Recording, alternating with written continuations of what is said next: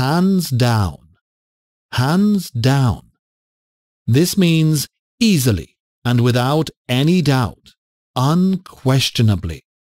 This idiom originates from horse racing, where a jockey who is far ahead can drop his hands and still win the race easily.